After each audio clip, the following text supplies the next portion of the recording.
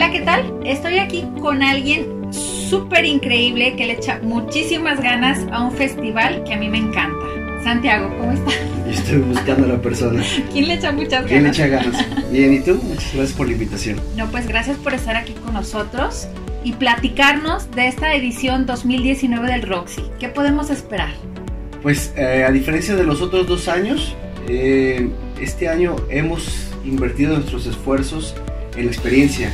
Este, entonces va a haber muchas más cosas que hacer durante el festival, entendiendo que el line-up que traemos va, va, va a ser muy emocionante, porque son puras bandas que tienen éxitos uno tras otro. Entonces planteamos el festival para que tengas éxitos desde que llegas hasta que te vas, pero al fin y al cabo también puedas tener cosas que hacer durante el Oye, de, de todas las bandas que se presentan en esta ocasión, dime tus tres favoritas.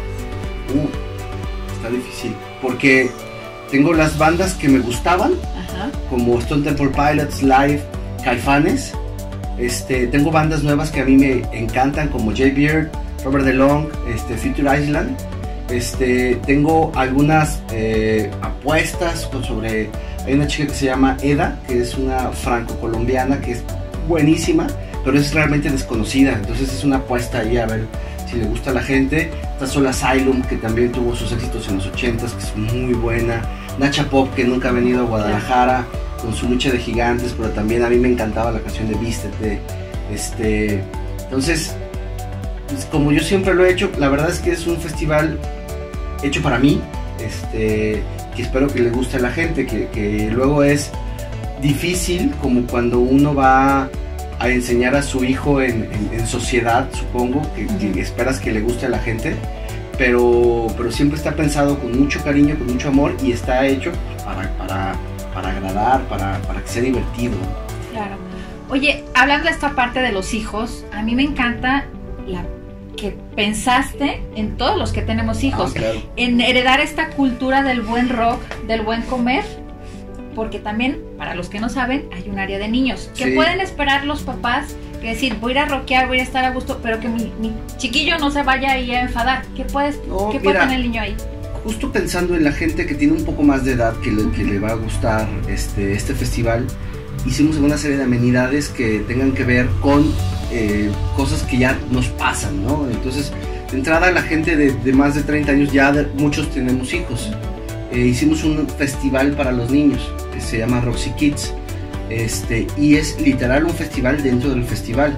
Es un corral bastante grande eh, donde tenemos un escenario. Este año el escenario del Roxy Kids es circular al centro de la zona y va a haber cinco bandas, o sea, del tamaño de Cobra Kai, Trocker, tocando para los niños. Este, hay cinco talleres. La idea es pues, que los niños empiecen en la industria del rock and roll o del festival o de este tipo de experiencias que son mucho más complementarias. Pero también está padrísimo que tú puedas ir con tu hijo al festival, lo puedas dejar, luego puedas traértelo a que escuche tu banda favorita, luego lo puedes dejar otra vez. Este, así también hicimos la zona gourmet. Las ediciones anteriores eh, participábamos con chefs locales. Este año lo que decidimos fue a través de la Secretaría de Turismo de, de Yucatán, nos van a mandar chef de Yucatán. Entonces vamos a comer riquísimo, porque seguramente vamos a comer cochinita Claro. y mucha, y como se darán cuenta yo como mucho. Este, pero bueno, ese es el tipo de cosas que van sucediendo con el festival. A diferencia de los otros años, este año tenemos muchas horas de descanso, porque también la gente de, de mi edad, pues, joven, este, necesitamos descansar mucho más, entonces hicimos más horas de descanso. Increíble. Oye, y por ejemplo, ¿a qué horas hay que llegar? ¿Desde qué horas va- van a empezar las bandas a tocar y hasta qué horas van a estar? Mira, nosotros esta edición son cuatro escenarios, este, dos principales, eh, Roxy Kids, y tenemos un escenario en la zona de comida que lo va a hacer mucho más integral. El escenario de la zona de comida, que es el primero, empieza a las 2 de la tarde. Eh, los escenarios principales empiezan a las 3 de la tarde y hasta las 2 de la mañana, acabando con Tumeni DJs, que Tumeni DJs cerró el año pasado en Ciudad de Barcelona y es una fiesta espectacular. Este, inclusive yo creo que este es el cartel mejor planeado para la fiesta de los tres que hemos tenido. Porque, porque justo es eso, o sea, tiene, tiene un ritmo muy peculiar y acaba con Many DJs que es muy, muy, muy divertido. Oye Santiago, y un favor, pues obvio que vamos a regalar pases para todo el auditorio. Quiero que me digas quiénes se los van a llevar, qué tienen que hacer. Bailar mucho. ¿Qué tienen que hacer? Este, ¿Por qué no lo hacemos para la gente que ha ido en las dos ediciones anteriores y que sea que nos diga eh, cuáles fueron las dinámicas de homenaje que hicimos en las dos ediciones anteriores? El primer año fue a David Bowie, el segundo año fue a Freddie Mercury y tuvimos bandas eh, que, que copias de estos artistas, pero ¿cuáles fueron las mecánicas que hicimos de homenaje? Ah, perfecto. Ya escucharon, entonces me tienen que decir cuáles son las dos eh, homenajes que hubo. Ajá, en- que, ¿cómo los homenajeamos? ¿Qué fue lo que se hizo exactamente Así es. durante el festival para homenajear a David Bowie Y a y Freddie a, y a Freddie Mercury?